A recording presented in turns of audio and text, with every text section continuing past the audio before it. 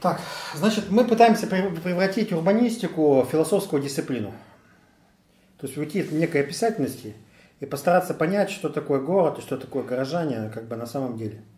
Всякие попытки говорить, что город это то, город это третье, это там, где ворота, где там у тебя чего-то огорожено, там, где у тебя есть церковь, там, где у тебя есть ратуша, всякие прочие, они все неудачные. То есть это все внешний разговор. Я хочу сказать, что, на мой взгляд, есть нечто то, что является неким онтосом горожанина. То есть город это то место, в котором живут горожане. А село там, где селяне? Вы знаете, хотя история знает прямо противоположные примеры. Бывает так, что с какой-то бывает такой ситуации, когда город, э, горожане его покидают по каким-то причинам, и жители окрестных деревень приходят и начинают в нем жить. Ну, классический образец такой это Львов. После знаменитой Волынской резни, то есть после победы в 45 года, фактически, после этого. Там самое интересное, что западные украинцы для вот этой Галичины никогда не были городским населением, они в городе практически никогда не жили. То есть это вот именно чисто сельское, деревенское, хуторское население, не имеющее никакого отношения к городу. А в городе жили русские, евреи, поляки и немцы. Ну, что касается Львова, то это поляки, немцы евреи. То есть три как бы народа. А этих, этих не было. Я прошу прощения за долгое отступление. Я просто хочу сказать, что бывает такая ситуация, когда вроде бы город есть, а население его не городское. Я так понимаю, что ровно аналогичная ситуация у нас была с Выборгом. Когда местных горожан, финнов, отселили, и на место из них пришли же селяне. Как там было? Вот какой-нибудь певец выборгской истории вот этого 40-х годов обязательно было бы интересно понять, как э, там это функционировало. Но я хочу сказать, что нынешний Львов совершенно не имеет к вот этому прославленному городу и Австрийской империи. Там нету ни той знаменитой математической школы, ни лиц э, масштаба Станислава Лема, который там родился. Вот оно населено вот именно сельским населением. И я как хочу сказать, что это сельское население, по сути, сельским населением до сих пор и осталось оно, несмотря на то, что оно живет в 600-700 тысячном городе, оно, тем не менее, не превратилось именно, собственно, в горожан. Так что же такое, такое горожанин? Я возьму эту интуицию, здесь можно начинать смеяться, у Владимира Африкановича Никитина. Те, кто его знает, могут начинать смеяться. Да. А, значит, он говорит, что город – это пространство возможностей. То есть это то, что, где у тебя много чего происходит. Это то, что ты можешь где-то кем-то стать. Я хочу заметить, что надо это превратить не именно в город, то есть лишиться субстантности, а сказать как определение горожанина. Горожанин – это тот человек, для которого внешняя среда развернута как пространство возможностей. То есть моя возможность стать кем-то, она как бы отчуждена от меня самого и положена передо мной. И это, на мой взгляд, является ни с чем иным, как контусом горожанина. В этом смысле можно сказать, что горожанину по большому счету не важно.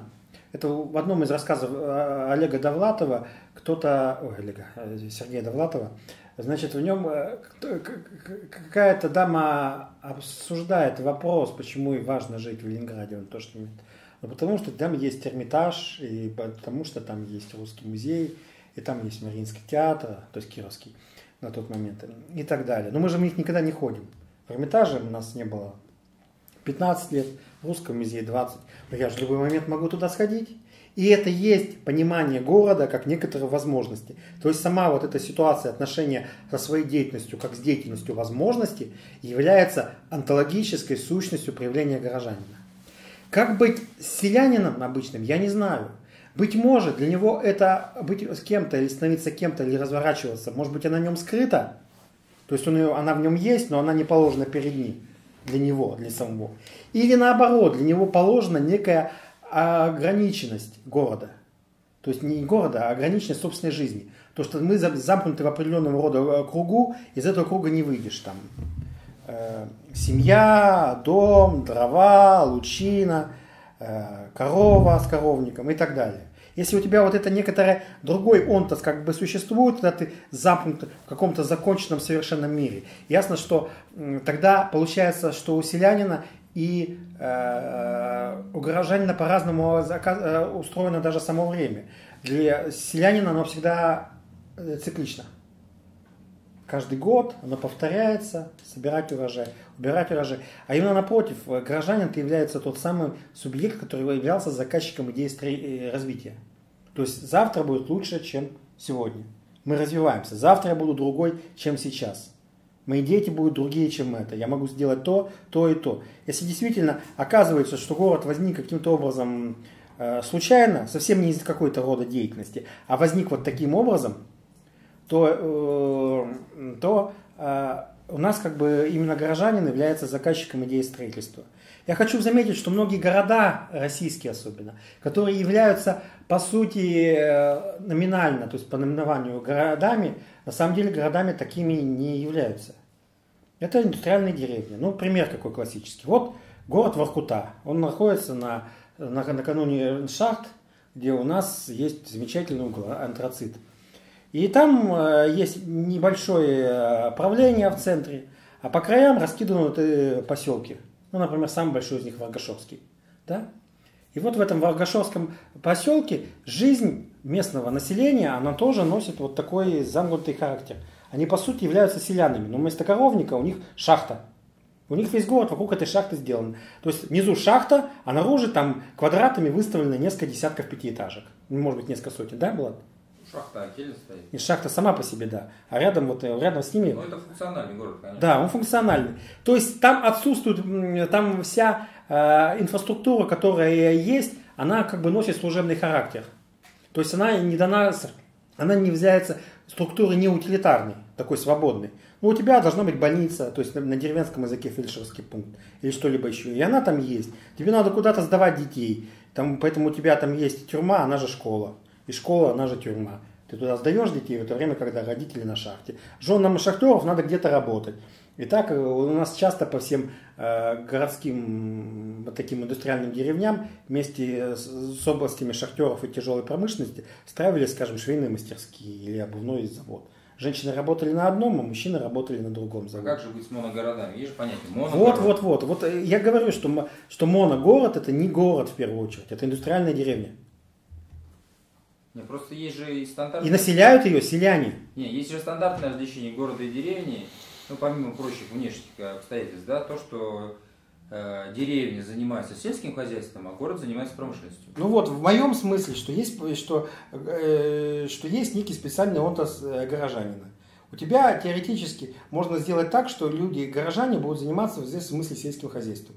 Ну, например, одной из их деятельностей будет большой там тепличный комплекс или что. Но это их не делает деревенскими. У них Нет, другой... нет. На самом деле тепличный комплекс это фактически уже не сельское хозяйство, это фактически промышленность, Ну, ты- которая основана на сельском Ты хозяйстве. опять сводишь разговор к тому, что город это то, что огорожено. Нет, я сажу к тому, на самом деле, что есть два вида человеческой деятельности. Одна это привязка к земле, да, то есть то, что называется крестьянин, сельский, сельский житель, а другая есть не привязываясь к земле, а привязка к каким-то ремеслам, да, так, торговле. Вот торговля и ремесла, они как бы к земле не привязаны, да, и, и поэтому они могут э, организоваться то, что называется город. А, крести... а сельский житель, который привязан к земле, он не может городом селиться, потому что ему нужны просторы земли, да, и поэтому возникает деревня. Деревня не может стать городом, потому что Понятно. они на земле. Ну, то есть ты отвергаешь вот эту интуицию по поводу того, что есть специальный отос горожанина, принципиально отличаешься Нет, от наверное- от, от- от отоса жителя деревни. Не, ну мы же прекрасно... А ты, а ты говоришь, что только того, кто в земле копается, тот селянин, а кто в земле не копается, тот и горожанин. Нет, я согласен с тобой, что, конечно же, территория, да, и как бы конъюнктура определяет стиль, в котором живет человек. Естественно, человек сельский, может, он даже конкретно землей не занимается, вот какой-нибудь там, скажем, учитель сельский, да, становится в каком-то смысле селянином, да, и у него он с его приобретает вид действительно какой-то другой, по, по сравнению с тем же учителем, но горожанином. Да. Наверное, это различие... Я- я- да, я хочу сказать, что это ни в коем случае, благодаря Колковскому Дмитрию Евгеньевичу Колковскому, мы это очень хорошо знаем. Вот он убедительно весьма показывает, что последние события как бы в Киеве, они состоят в первую очередь, кто является движущей силой. Те самые вот эти крестьяне, то есть э, селяне, со своим э, местом, которые в очередной раз пришли одержать победу над городом, в этот раз над Киевом, так как они победили Львов. Вот это не победили Львов, местное население ушло, и они в нем, потом из поколения в поколение, о нем остались э, теми, кем были. То есть у них не приобрели нового онтоса горожанина. У тебя вся вот эта высокая культура, которая существовала во Львове, она исчезла и пропала беспоследно. И они приходят на о- площади, пытаются жить своей жизнью, разбивают свои палатки. И на сегодняшний день у них там они даже есть виноферма небольшая, они там птицу содержат. И все это на Майдане посередине Киева.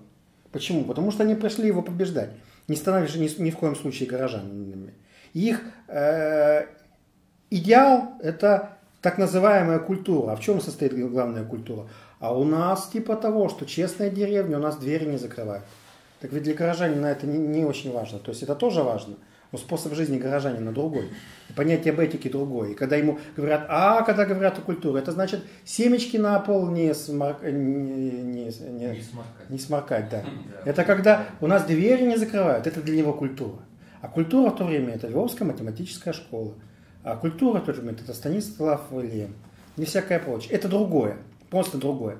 Они об этом не знают и о нем никогда не соприкасаются. Это, это люди, настоящий охотник, который вместо обычных э, леса попал в каменные джунгли.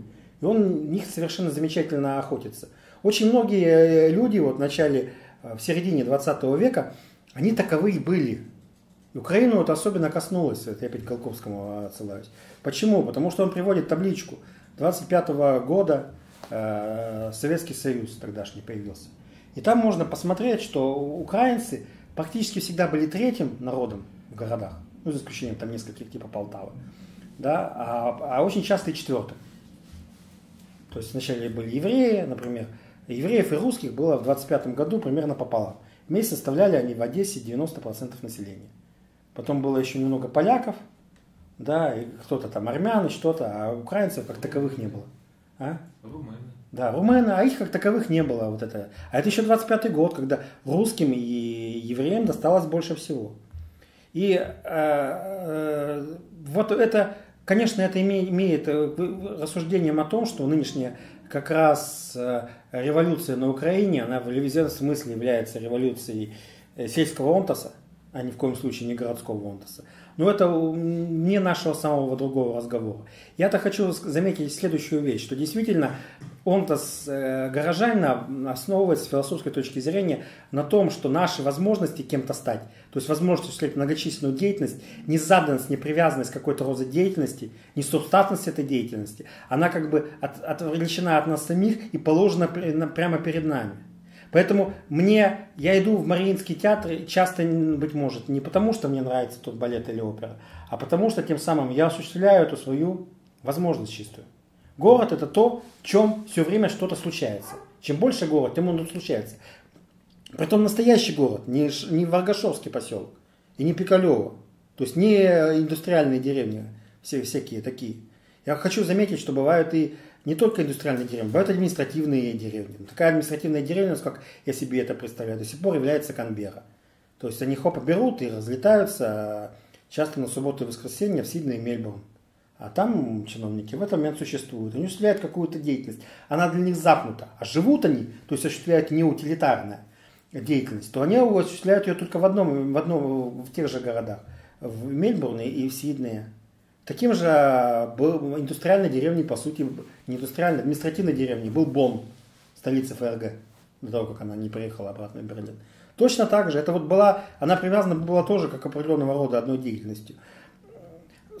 Трудно сказать, что ее населяли действительно селяне. Но думаю, что среди части людей, которые обретались там, вот именно происходило, и в том числе боюсь, что и утрата э, э, онтоса горожанина. А нельзя ли вот это ну, поле возможностей, которые, э, на которые ты указываешь, обозначить просто как ну, разделение труда? То Нет. есть город отличается от деревни тем, что там разделение труда представлено в наиболее явном виде. Нет, я хочу сказать, что у тебя это не разделение труда, а в том, что у тебя э, не утилитарное противопоставлено утилитарному. То есть, ведь смотри, из того, что я пошел в Мариинский театр, это не означает, что я в этот момент осуществил разделение труда какое-то. Да? Или то самое а в том, в том смысле, что оно, вот это, это, это моя э, потребность быть многообразным, иметь различного рода определенность, оказалась положена передо мной объективно. Ну, в деревне тоже кое-куда можно пойти. Ну, это да. Это у того же самого Голковского замечательное эссе про Собянина накануне выборов было. Оно у него состояло в том, что у Собянина есть ментальность сельского жителя, что живет он в доме, типа того, что а город это у него там, где он работает, это свинарник, типа того, что. Там везде свиньи, там э, тарахтит трактор. И вот Собянин с подобного рода ментальностью, он показывает, как это было, стал вдруг внезапно губернатором, то есть мэром Москвы.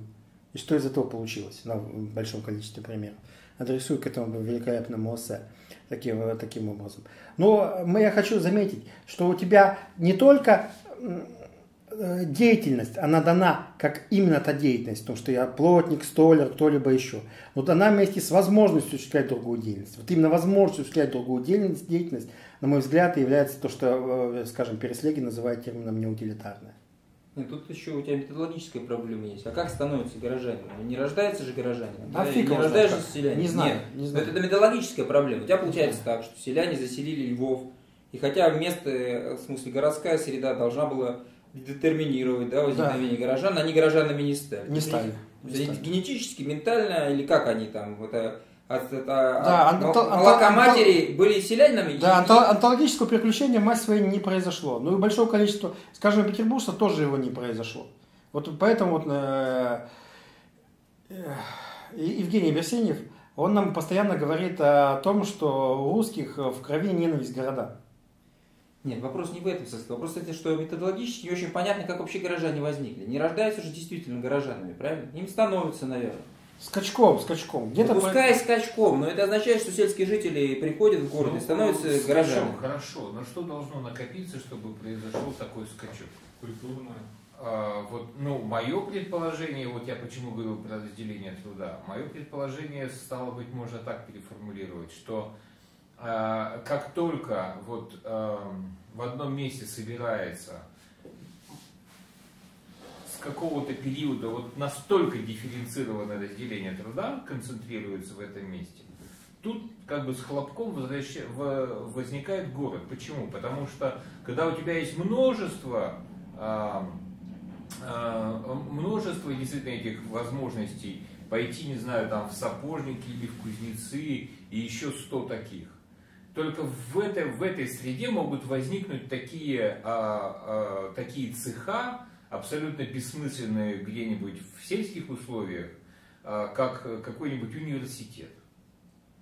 Э, вот, вот только здесь, только когда вот накопление э, дифференциации э, разделения труда достигает какого-то порога, после чего начинают возникать театры, возникают университеты, а до того не нужно, потому что люди просто заняты экономикой. Они как бы функционируют в качестве такой большой деревни. Да, я, я вот э, совершенно, вот я немножко историю городов изучал, и все как бы происходит совершенно не так. Вот это вот э, так принято думать, что люди собрались в одном месте, у них появились ремесла, а потом они построили ратушу или что-либо еще. Исторически все происходит иначе. Один из самых распространенных э, вещей, помимо того, что вначале возникла ратуша, а около нее появились люди, то есть сначала герцог здесь поселился, а около замка появились все, все остальное, то она состоит, что город это нечто, осуществляющее некую сакральную деятельность. Вот, например, функция Рима, она в чем состояла?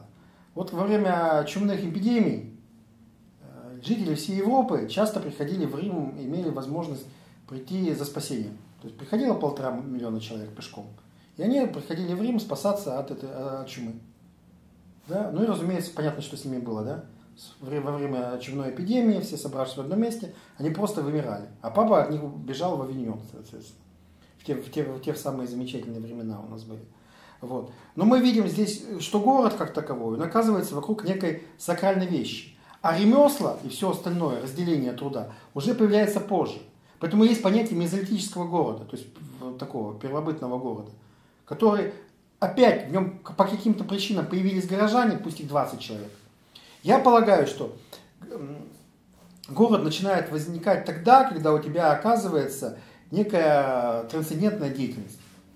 Если ты полностью замкнут в кругу имманентного, то ты становишься, останешься вот этим самым селянином, хотя будешь мастером на все руки. И ну плотником, не, и столером. Не, не, не соответствует. Реальности не соответствует, потому что христианство изначально это все-таки и многие религии изначально это именно сельские культы, никакие не городские. И причем городским культам как раз характерно нечто другое, да, вот этот э, поп, это многообразие религий, да, как бы вот это. э, Я, нет, я хочу сказать другое. Не то, что... Изначально все культы всегда сельские. у- у- Почему? Почему объяснять? Потому что земля либо дает, либо не дает, это не зависит от человека, это зависит от чего-то другого, да, и поэтому возникает божество, которому нужно поклониться, чтобы земля дала. Отсюда, отсюда земля, во-первых, представляется, по-моему, как мать земля, да, или там богиня земля и прочее, да.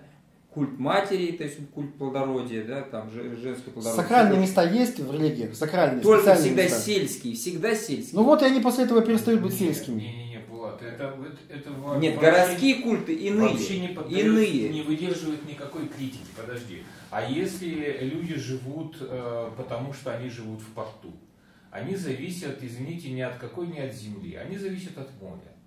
Вот пришли караваны э, кораблей, либо не пришли. Бог моря либо их пустил, либо их не пустил. Земля им вообще не нужна, но они живут в городе, у них занятие сугубо городское. Они разгружают и, и загружают корабли. Все, никакой земли у них нет. У них земли нет, но на самом деле, как бы, Нет, ты я правильно хочу- говоришь, но сельские культы, они точно так же Нет, я хочу сказать, что пусть они сельские культы, вот они живут в этом так сельске. организованные Но по- сельские по- по- поздно, поздно или рано у тебя в этой округе оказывается более святое место, самый целебный ключ, еще чего. Давайте как бы я свою версию скажу, что на самом деле города возникают как торговый центр. И никакие все остальные вещи, там, какие-то сакральные, это все на самом деле это наносное. Как, всегда возникает как торговый центр город.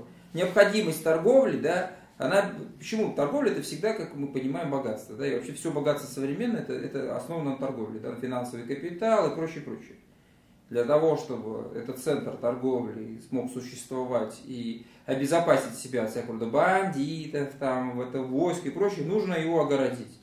То есть на самом деле всегда как торжище. Любой город это торжище. Новгород ли это, Псков ли, либо что-либо любое. Возникает сначала торжище, она, она возникает на пересечении каких-то торговых путей важных, да. И вот на основе этого торжища возникает все остальное уже. Присоединяется сюда и ремесла, да, чтобы поближе к торгу. Что такое ремесло? Оно только тогда имеет смысл, когда можно продать. Если ты делаешь какие-то изделия, они тебе сто лет не нужны. Ты сделал себе одно изделие, тебе хватает. Любое ремесло нацелено на продажу. И поэтому оно это, садится рядом с местом, где можно продавать. Промышленность, опять же, та же самая смысл. Оно возможно только тогда, в промышленности ты же не будешь изделия кушать. Тебе его надо продать, чтобы купить э, продукты. Только сельское хозяйство может быть натуральным, да, только оно может жить в рамках земли, ей не нужно никакой ни торжище не нужно, ей ничего не нужно. Да.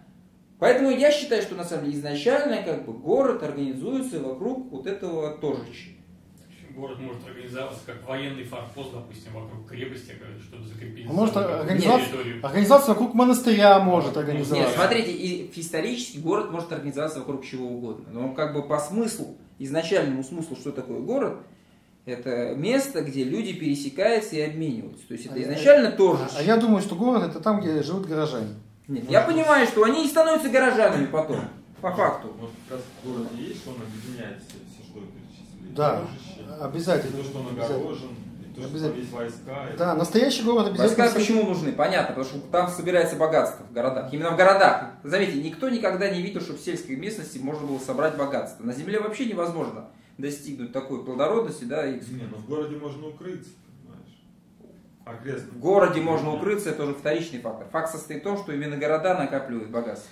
Именно поэтому они требуют стены это, вокруг себя, потому что именно там собирается богатый люд, именно там возникает вот это Это, все, опять, что мы называем это, цивилизацией. это- это опять весь внешний разговор. Я еще что хочу заметить. Э, Единство горожанина другое, чем, скажем, единство национальности. Да? Ведь в самом деле единство национальности, ну вот я русский, он русский, тот русский, это как бы моя собственная индивидуальность, это моя собственная определенность. У меня есть такая определенность, это определенность меня роднит с другим человеком, а- а- а- который обладает аналогичной Ну идентичностью. скажи, единство территории. Чего вот долго говорить о чем-то? Ну единство территории. Есть такое понятие единство территории. Рядом сидишь в очереди, и вроде уже как Да. вроде единство просто очереди. Да, понимаешь? это люди, которые... Вот в этом ничего особенного-то нет. Ну что на это педалировать-то? Ты скажи, как горожанин становится? Если ты хочешь сказать, что есть селяне рождаются селянами, есть горожане рождаются горожанами, ну тогда это фашизм просто. Да, я- Есть хорошие люди, как бы цивилизованные, а есть какое-то быдло, Я которое хочу- на земле тусуется. Я хочу заметить, что Как на горожанин- самом деле становятся горожанами? горожанин это не единство территории. Ну, не единство территории. А единство чего? Это означает, что когда у тебя положено... Не утилитарно у него возникло. Ну, конечно, когда времени много свободно, у тебя пока есть, тебе не нужно на земле с утра до вечера работать. напротив Возникает не пол- утилитарно. положено- Это следствие, а не, а не это, а не причина. Следствие это, понимаешь? Объективно положено моя самая э, способность э, Ой, да, Игорь, она положена только тогда, когда у тебя получается свободное время возникает. Сельский житель, он на самом деле в цикле природы просто привязан к земле, он не может от нее освободиться, он постоянно должен работать, работать и работать, чтобы вообще прокормиться.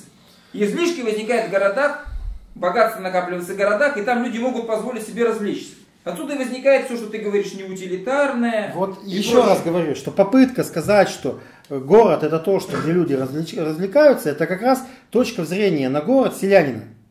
Город это там, где у тебя свинарник, там, где у тебя есть производство, и там, где у тебя есть клуб, Нет, ты где ты скажи- развлекаешься. Да дело не в этом, ты скажи, как горожанин становится, и станет сразу все ясно. Знаешь, Можно я скажу? Мне кажется, что горожанин становится следующим образом. Город накапливает, помимо всего прочего, что вы перечислили, культуру еще, да? Да. И вот именно преемственность всего, и ремесел, и культуры, и организация армии, там всего. Если эта преемственность передается, неважно каким образом, приезжает сельское население в этот город и так далее, то город продолжает существовать. Если эта преемственность нарушается передачей, то город перестает существовать. Не, я не знаю. Я как раз про город и думаю, что существует определенного рода скачок. Ведь ты же не можешь никогда э, понять, когда человек научился читать. Вот он берет, складывает из букв слова, складывает, складывает, читает по слогам, а потом хопа, и скачок произошел. Человек научился э, э, читать. Или он считать. Раз морковка, два морковка, три морковки. Но три морковки никогда не дают тебе число, число три. Потом хоп, произошел этот странный мистический психический акт, человек считает. Здесь точно так же. Хоп, одно поколение, второе. Один приехал из деревни, через год он горожанин, а другой в четвертом поколении здесь живет, у него по-прежнему, скажем, в Петербурге. Мышление вот точно такое же. Город для него не, не является чем. Он освоил собственную профессию, этой профессии следует. И Это- таким это образом живет. разговор об интеллигенции, понимаешь? И там, или разговор, как я Похоже, всегда- похоже. Да, или разговор о том, как я говорю, что два мужика в пивбаре сидят и доказывают что-то, что значит быть мужиком. Один говорит, да надо вот пиво Мгм. пить там немерено и типа и не пьянеть. Я, я опять... А другой говорит, да нет, надо там типа там это, заниматься любовью, там, типа до, до, и так далее. Ну, это из этого разряда, понимаешь? Из разряда у кого длиннее, понимаешь? Да-да-да. Так Это вот, глупость какая-то. Да, я понимаю. Вот я об этой глупости продолжаю. Я опять возвращаюсь к этой, к этой, к этой, к этой штуке странной. Что значит быть и э, горожанином? А горожанин это тот человек, который у тебя пространство возможностей, понято именно как пространство возможностей у тебя общее. То есть у тебя твоя возможность быть кем-то, она у тебя положена объективно. И то, что она у тебя, как бы, твое пространство вот это, оно одинаковое, то это и делает тебя, собственно, э, жителем вот этого самого города. То есть это не есть идентичность, не есть твоя собственная определенность, я хочу обратить внимание. Это очень странно это на это дело посмотреть и в армии, как это происходит. Когда селяне, по сути своей, собираются в круги, они относятся к москвичам, петербуржцам, как э, тоже еще к одному землячеству. Они делают, а ты какой? Да я Тамбовский, а то, а ты там, а ты кого там знаешь? Я такого-то знаю. Ну Вот.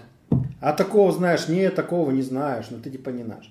Но в то время Москва и Петербург не являются землячеством в этом смысле. То есть у тебя нет такого качества, у тебя нет такой как бы идентичности, как Тамбовский, Архангельский, такой там из деревни какой-то, Матюшки или что-либо еще. У тебя происходит это иначе. То есть ты полагаешь перед собой некая, э, свою собственную возможность кем-то стать наружу объективно. Это, это по- по- положенная наружу объективность у тебя вот с тем другим человеком, петербуржцем, общая. И это получается, что нам задает совершенно другую парадигму или другой способ э, рассуждения о близости и дальности. Близкий тогда человек таким образом, у тебя становится уже не человек, у которого общая идентичность с тобой, а как-то совершенно иначе. И в этом Булат прав. Этот разговор очень близок к разговору об интелли- интеллигенции, потому что у них там тоже, а, они были основаны на общей антологии, а не на общей идентичности. У меня есть предположение. Тогда может быть так сказать, что э, горожанин вот эту свою, э, вот это поле своих возможностей, он живет в нем таким образом. Он живет договорным образом. Вот землячество по поводу того, что мы пскопские, Да, это, кстати, очень важное замечание. Оно, Оно- рассвечивает твою картину оно, оно натурное. Мгм. Тут как бы я пскопской, и тут никуда не подеваешься. А горожанин, он как бы состоит, он входит в коалиции, он входит в общество, но это всегда, он всегда понимает, что это договорное вхождение. Оно для него не является чем-то естественным, чем-то ему от рождения присущим. Он ясно понимает, что вот он входит, там, я не знаю, э, в ремесленное какое-то сословие. Но это именно, в- это именно договор. Это он не то, что он родился кузнецом. Да-да-да, я согласен. вот он да. как бы Это, входит в да. качестве свободного субъекта в это, в это объединение. Да, это вот пра- правильное замечание. Оно действительно новыми красками вот эту ситуацию позволяет развивать. Действительно договорная, да. У тебя... И в этом смысле я, я тогда брал с другой стороны этот же аспект, что, что, что, что ты кузнец или кто-либо еще, это не твоя судьба. Ты это Вот понимаешь. именно. Вот именно. И это не твоя судьба, это твой выбор. Да. Который ты к тому же... Это почему возможность? Потому что ты, ты всегда понимаешь, что ты можешь поменять. Да, да. И, и город именно является то, что тебе задает горизонт этой возможности. То, что стоит перед тобой в качестве именно твоей возможности, а не, а не в То, что качестве... горизонт задает, это, собственно, просто онтологическая структура человека, а в городе просто она проявляется, а в сельском хозяйстве меньше проявляется. Это никакого отношения к конкретному городу не имеет. Другое дело, на самом деле, вот есть вот понятие традиционного общества. Везде любое традиционное общество основано на сельском э, населении. Почему? Потому что именно традиция, да, она передается от отца к сыну именно на деревне. Именно в деревне сохраняются все традиции там. Это, а, и, и куль- культурные, и религиозные, и прочее. И всегда это именно ты, деревня. Ты, ты к чему сейчас? Я к тому говорю, что город нивелирует все традиции. Вот вы тут о какой-то культуре говорили, мне это даже смешно. Город это то место, как секуляризированное максимально, где все стерто. Все различия как бы не изведены до, до- до- до нуля. Как бы, где нету на самом деле по сути никакой культуры, а есть только что-то как бы это, маскирующееся под культуру. Нет традиций, а что-то есть Ничего подобного. под традицию. Ничего подобного. А, деревня почему держит э, свою культуру прекраснейшим образом? Потому что она не знает, что у той культуры, у той традиции, которая она э, в себе хранит, есть какая-то альтернатива. Нет, не потому. Вот только поэтому. Она вот пьет чай с баранками и свято блюдет эту традицию. А горожанин знает, что можно пить не только чай с баранками, но чай с пирожными, кофе с пирожными. А можно пить кальвадос, а можно пить э, вино. Ну-ка отсюда и И следует, это что... разные традиции. Правильно, и отсюда горожанин- следует, что никакой традиции нет, когда Не, традиции... Ты просто не дал, не дал Игорю договорить.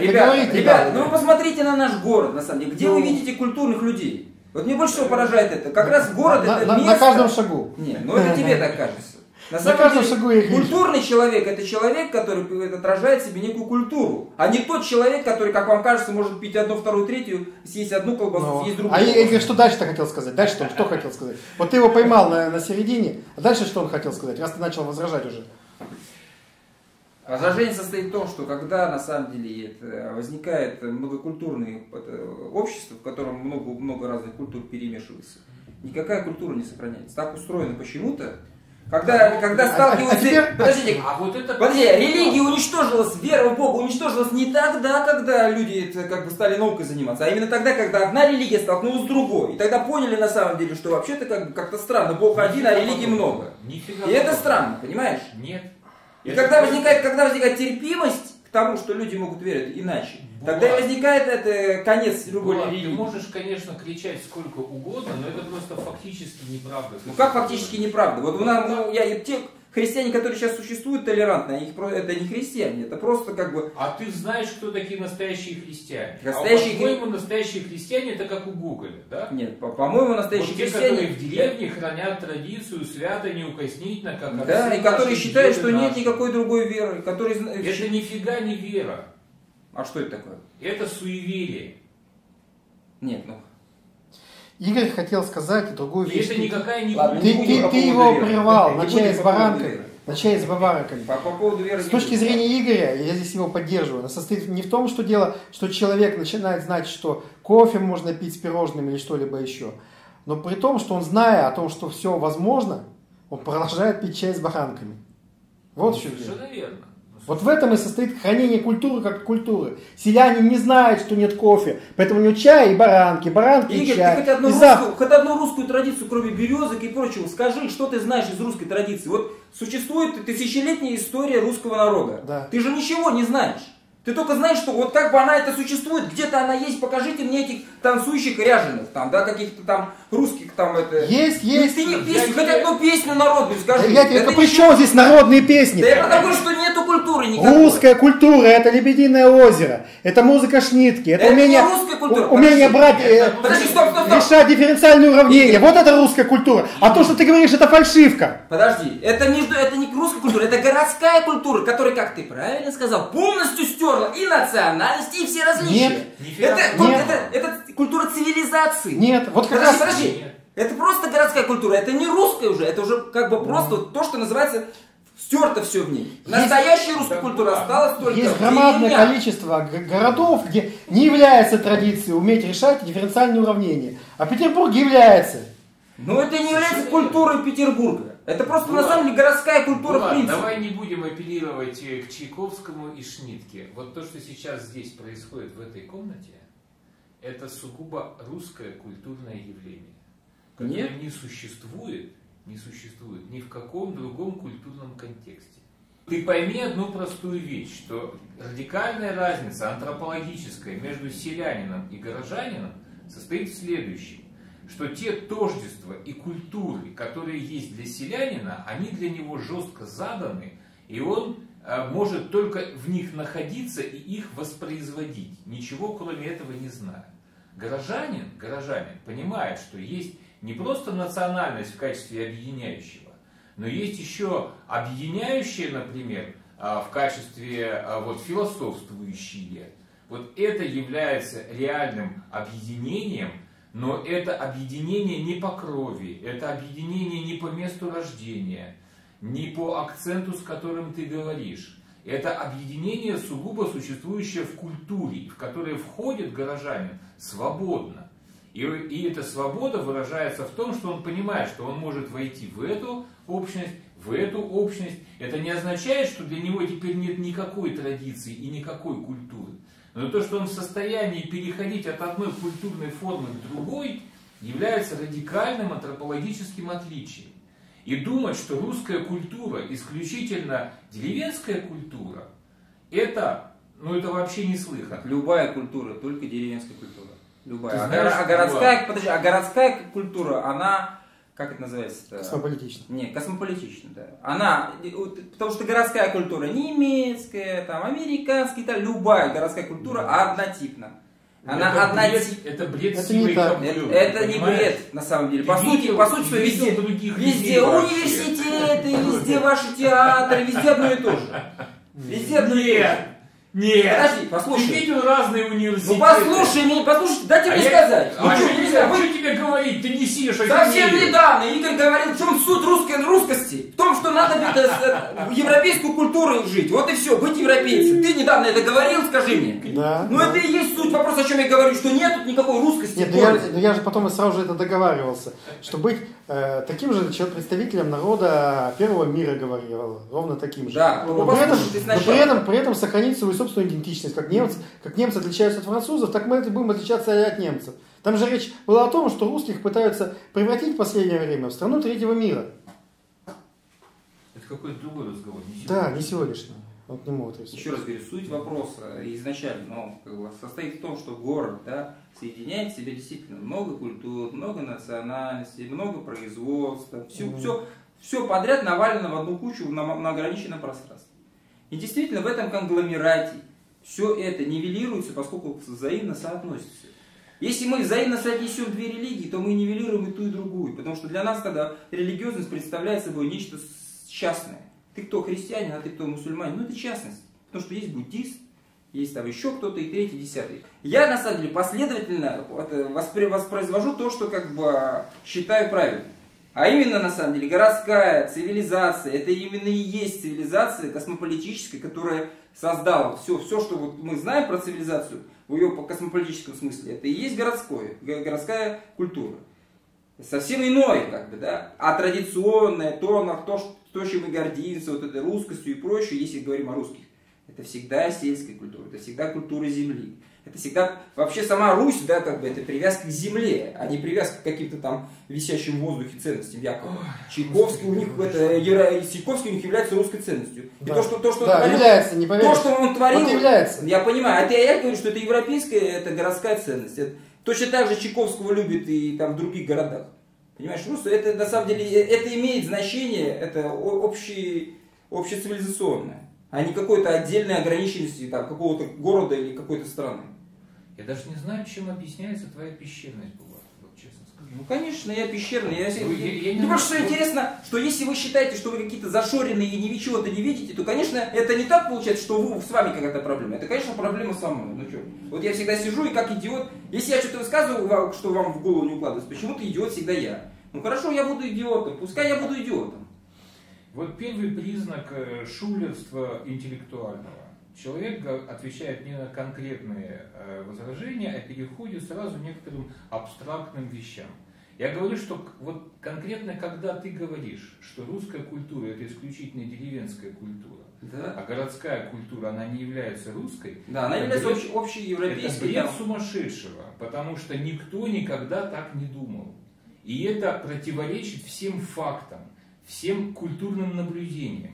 Но я не знаю, ну попробуй поживи в, европейском городе, и ты увидишь, что он не похож на город Питер и его жители. То есть там не будет... Культурно- Конечно, там приду, театров нет, кинотеатров нет, университетов нет. Все, все, чем мы хвалились, школами, университетами, все там будет. Они Чего там не будет? Да они вот, другие. Ну, естественно, другие на свое лицо посмотри на мое. Мы Так другие, и что? И мы люди. Так нет, ста, а, Бу- Булат, ну честное слово, а ты считаешь, что у них в деревнях во французских тоже пшеницу не возделывают, что Не, ли? я считаю, что в деревнях у них вот это, что деревня, она, почему вот вы сами же говорите, что деревня, она консервативна, да, она сохраняет некоторого рода м, это, моно, э, ну, однородность. Почему? Потому Где что они все одинаковые. да, там не с чем сравнить. Как Они, города. они передают- у них есть- логическая ошибка. не, у них то, то, что Деревни точно так же все одинаковые по всему миру, как и все города одинаковые, вот как ты говоришь. Но есть различия, на которые тебе пытается Игорь, Игорь указать. Нет, я, я Между говорю, русскими городами и французскими это, городами. это различия городами. есть. Я просто хочу Так есть сказать, между русскими из этого, из этого Нет, следует, я что городская сказать, что- культура, она тоже бывает разной. правильно. А я говорю, на самом деле, изначально... Как, как деревни бывают разные, Да французские, я, не- русские, я так не об этом говорю, я говорю, разные. что города нивелируют различия в принципе. Конечно же, города сами по себе являются какими-то разными. Сами города бывают разными. Но Ну, изначально город внутри Булат, себя, ну, знаю, все ну, различия между людьми Ну, я, нивелируют. я не знаю, что тебе поможет. Это города Книжки будущего. почитай, что ли, или съезди, съезди в какой-нибудь город Был. Вавилон один такой был. Ну и все. А так города национальные пока еще. После этого вернемся к Вот этому. куча Ну, деревень. где же национальный? Где же национальный? Какой город не возьмешь, многонациональный. Татарстане татарские города, в России, то есть не в России, а это самое. Но это неправда. В том-то и состоит России. суть на самом деле, что город, как, как я говорю, как торжище, да, он всегда объединяет м- много народов. Всегда. А культуры разные. Это я еще раз говорю, вы путаете, у вас смешение. Я не говорю о том, что города одинаковые. Я говорю о том, что город внутри себя нивелирует различия. И это неправда. Ну как неправда, если это, неправда. правда? Если это правда. Это просто фактическая неправда. Потому что если в деревню приедет инородец, он так и останется инородцем. Он никогда не вольется в сельскую культуру, потому что он иной. Потому что земля его не примет, что называется. А в городе всех принимает, приходи любой, понимаешь? Это ахи- ахинея. Это не ахинея, это смысл города состоит в том, что город это торжище, где приглашены все. Если ты приходишь, как бы, как вы сами говорили, договорная культура, да, Да-да-да, похожа на но то. договорная в другом смысле. Не в том смысле, что все перестали быть русскими и все стали Да одинаковыми. причем здесь перестали быть русскими. Вы, говорю, больше всего меня удивляет. Вы на меня пеняете, сами не можете понять, что я говорю. Причем здесь это? Я не говорю про русскость, что все стали русскими. Ну, я не об этом говорю, что все нивелируется. Не важно, что ты русский. Не важно, что это татарин, не важно, кто, что там кто-то еврей. Это просто не важно. Вот в городе это не важно. А важно, что ты горожанин. Что как у тебя есть, как ты говоришь, абстрактные возможности, которые ты можешь реализовать где угодно. Вы сами стоите на этих основаниях, но почему-то идиот я. Хорошо. Я ловлю, ловлю вас в вашей последовательности. Нет, Где нет, самая главная нет онтологическая структура, а не твоя принадлежность к какому-то народу, какой-то национальности, Да, какой-то да. конкретной культуре. Важна онтологическая структура. Ну, а это- из этого верно. следует, что на самом деле и все остальное Так, нивелируется и Булат. уходит на второй план. Булат, еще раз, вернее, так, не еще раз, последний раз объясняю точку зрения. Она состоит в следующем, что да, Город – это некоторое смешение и э, плавильный котел и все, что хотите. Но означает ли это, что в этом котле исчезают всякие культурные определенности? Нет. А все твои аргументы строятся, исходя из того, что да, исчезают. Была культура в деревне, попала в город, исчезла. Я так не сказал. Ну ты говоришь, Ты что... так сказал. Я сказал, нивелируется. Ты так Что такое нивелируется? Это означает, что не так важно, что ты татарин, русский или кто-то. Конечно, ты та... я приехал в город и перестал быть татарином. Не так я говорю, ну что, не надо из меня идиота делать. Я имею в виду, что нивелируется, не важно, что ты татарин. Не важно, что ты христианин, иудей там. Не важно, кто ты. Важно, что ты просто в это, что все это нивелируется. А важно другое нечто, да? Что твоя онтологическая, как вы говорите, возможность это, стать кем-то и как-то себя Ну, реализоваться. ну да, а в деревне важно, что ты татарин, важно, какому ты роду принадлежишь. Все это супер важно, это самое главное. Вот о чем я говорю, поэтому там есть культура, потому что я в ней нахожусь, я в ней плотно Тем- завязан, термин связан. важности, но в каком А здесь я смысле? выхожу и перестаю Влад, быть привязан. Термин важности в каком смысле употребляешь? Важность.